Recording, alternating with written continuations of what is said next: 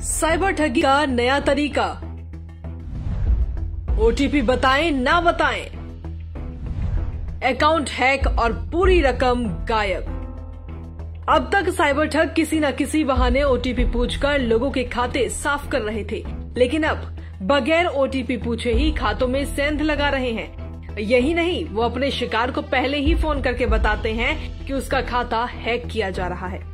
कुछ ही सेकंड में खाते में बैलेंस शून्य होने का मैसेज भी मोबाइल पर आ जाता है साइबर एक्सपर्ट भी अभी पता नहीं लगा सके हैं कि बगैर ओटीपी बताए साइबर ठग आखिर कैसे खाता हैक करने में कामयाब हो रहे हैं साइबर पुलिस के मुताबिक ठगी का ये तरीका इसी महीने शुरू हुआ है और हाल ही में ताबड़तोड़ वारदातें हुई हैं।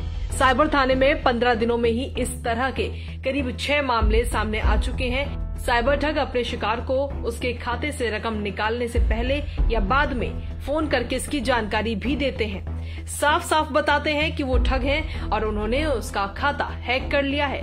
कुछ ही पलों में जब मोबाइल पर मैसेज शून्य बैलेंस हो जाने का मैसेज पहुँचता है, तब कहीं लोगों को उनकी बात पर यकीन आता है। मैसेज के बाद शुरू होता है ठगों का असली खेल। मोबाइल पर खाते का बैलेंस शून्य होने का मैसेज आते ही किसी के भी होश उड़ जाते हैं। ज़्यादातर लोग ठगों के आगे अपनी रकम वापस कर देने के लिए गिड़गिड़ाते हैं और यहीं से ठगी का असली खेल शुरू होता है। ठग उसे कुछ रकम वापस करने का झांसा देकर मोबाइल पर आने वाला ओटीपी बताने को कहते हैं। ओटीपी बताते ही ठगों का काम पूरा हो जाता है और खाते से निकाली गई रकम ठगों के खाते में ट्रांसफ़र हो जाती है। साइबर पुलिस का दावा ओटीपी ना बताने पर खाते में वापस लौट सकती है रकम।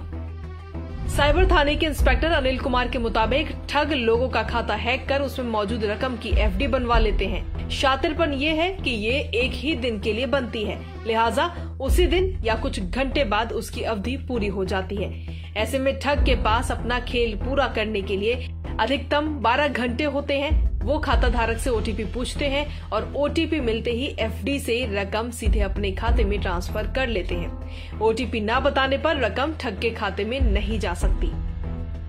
आपको बता दें कि ओटीपी पता ना चलने पर खाते से निकाली गई रकम बैंक की पार्किंग जेल में पड़ी रहती है। समय रहते शिकायत की जाए तो इसे वापस खाते में लाया जा सकता है। साइबर ठगी के ऐसे केस करीब पंद्रह दिनों से सामने आ रहे हैं। हैकर्स खाते से रकम निकालकर एक दिन के लिए एफडी बनवा लेते हैं। फिर कुछ रकम लौटाने का झांसा देकर खाता धारक से ओटीपी पूछ लेते हैं। ओटीपी ना बताने वालों की रकम बच जाती है। लिहाजा किसी भी दशा में अपना ओटीपी किसी को ना बताएँ और साइबर ठगी से सावधान और चौकन्ना रहे। Bureau report, Punjab Kesari.